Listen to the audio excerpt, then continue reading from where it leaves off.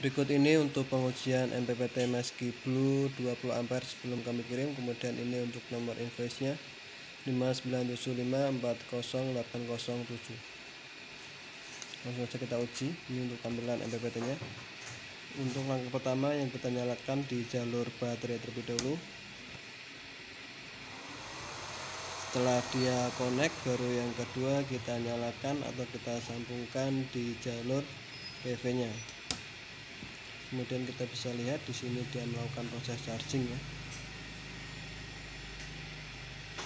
Ini proses charging. Untuk tombol-tombolnya ini berfungsi dengan baik. Nanti untuk menu dan parameter yang lain bisa dipelajari tersendiri ya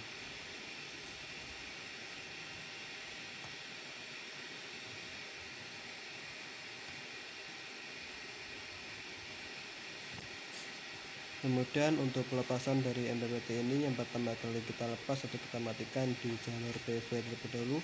Kemudian yang selanjutnya baru kita lepas atau kita matikan di jalur baterainya sekian untuk pengujian sebelum kami kirim. Terima kasih